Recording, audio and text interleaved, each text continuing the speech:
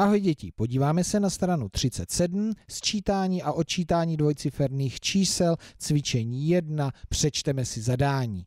Podle vzoru sestavte příklady a vypočítejte je. Takže si ten vzor, což bude asi úloha A, nejdříve pěkně prohlédneme. Vidím zde pásek, ten má délku 80 na tom znázornění. Je rozdělen na takovou šedou a bílou část. U té, v té šedé je otazník, takže neznámá část plus známá část 35. Takže z toho je i sestaven ten první příklad. Neznámá část plus 35 rovná se ten celek rovná se 80. No a další příklad nám říká, jakým způsobem tu neznámou část vypočítáme. Jednoduše. Když z toho celku 80 ubereme těch 35, 80 minus 35, dostaneme tu neznámou část. Takže to vypočítáme. 80 minus 30 rovná se 50, minus 5 rovná se ano, je to tak. 45.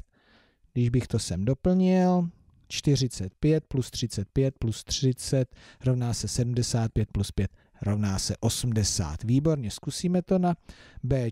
Takže celek je 50, neznámá část a známá část 14. Takže opět otazník, neznámá část plus 14 rovná se ten celek 50 a jdeme počítat tu neznámou část. Takže z celku 50 ubereme to, co známe, minus 14, rovná se neznámá část, takže vypočítáme 50 minus 10 40, rovná se 40, minus 4 rovná se 36, 36 plus 14 rovná se, ano, 46 plus 4, opravdu je to 50. Takže u C si jenom ukážeme příklad.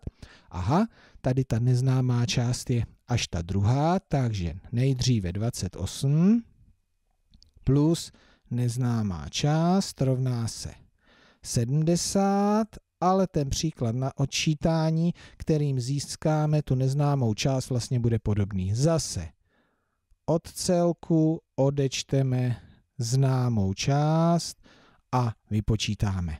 Rychle se podíváme na řešení toho, co jsme vypočítali, to máme správně a podíváme se ještě na druhou část příkladu, takže tady už máme jenom doplňovat příklady, kterými vypočítáme tu neznámou část. Takže neznámá část plus 25 rovná se 50, z toho vypočítám, že když od toho celku, od 50, odečtu 25, tu známou část, dostávám neznámou část. Hnedka vypočítám, 50 minus 20 je 30, minus 5, ano, 25. Takže 25 plus 25, to je jasné, to je 50. Tak a ještě jedna ukázka, hnedka jdeme počítat. Takže celek minus známá část a je to otazník. Tak, rychle, výborně, máme to dobře, vy to dopočítejte. Já si myslím, že umíte z tohohle toho znázornění vypočítat tu neznámou část. Je to tak? Je to tak.